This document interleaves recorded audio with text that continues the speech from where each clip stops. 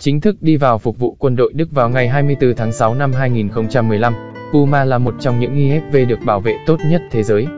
Trong khi vẫn có tỷ lệ sức mạnh trên trọng lượng xe cao. Việc sản xuất lô 350 xe đầu tiên bắt đầu vào năm 2010 và dự kiến thay thế những chiếc Maze hơn 40 năm tuổi vào quý 3 năm 2020, sẵn sàng hoạt động vào năm 2024. Kinh phí lô Puma thứ hai gồm 210 chiếc đã được phân bổ. Mặc dù bên ngoài không khác nhiều so với các IFV hiện có, nhưng Puma tích hợp một số tiến bộ và công nghệ hiện đại. Rõ ràng nhất là khả năng kết hợp linh hoạt để gắn các bộ giáp khác nhau, cabin kíp xe nhỏ gọn, cho phép các thành viên tương tác trực tiếp với nhau và giảm thiểu khoang phải bảo vệ. Được trang bị máy lạnh, chống NBC với các cảm biến hạt nhân và hóa học bên trong, có hệ thống sử dụng các tác nhân không độc hại để dập lửa.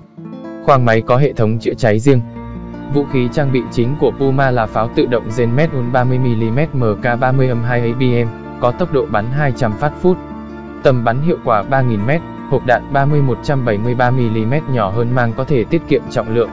Hệ thống nạp đạn bằng băng cũng cho phép có một số lượng lớn các viên đạn sẵn sàng bắn. Trong khi những khẩu 40mm chỉ có thể có 24 viên trên mỗi băng đạn. Việc giữ trọng lượng trong giới hạn 35 tấn dẫn đến việc trang bị vũ khí thứ cấp có cỡ nòng nhỏ hơn, Súng máy hành khách MG4 5,56mm đồng trục, có tốc độ bắn 850 phát phút và tầm bắn hiệu quả 1000m.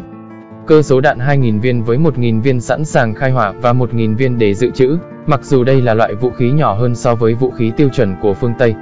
Miligam cỡ nòng 7,62mm, nhưng có lợi thế là kíp xe có thể sử dụng loại đạn cùng súng cá nhân của họ. Trong những năm tới, MG4 sẽ được thay thế bằng MG5. Hiện tại có hai loại đạn, APFSDS, T cỡ nòng bé, có khả năng xuyên phá cao và đạn KETF cỡ nòng đầy đủ, đa mục đích. Được thiết kế với khả năng nổ trong không khí để phóng ra của các loại đạn con.